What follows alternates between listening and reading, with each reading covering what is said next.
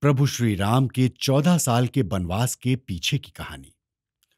जल्द ही वो समय आ गया जब दशरथ अपने सबसे बड़े पुत्र, यानी कौशल्या के पुत्र, राम को अपना राज सौंपना चाहते थे।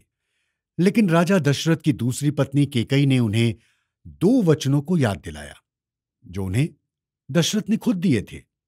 और तब वचन के तहत केकई ने कहा, मेरे बेटे भरत को राजा बनाया जाना चाहिए। और राम को चौदह वर्ष के लिए वनवास भेज दिया जाना चाहिए। अपने पिता के वचनों का सम्मान करते हुए श्री राम ने सिंहासन छोड़ दिया और सीता व भाई लक्ष्मण के साथ वन में चले गए।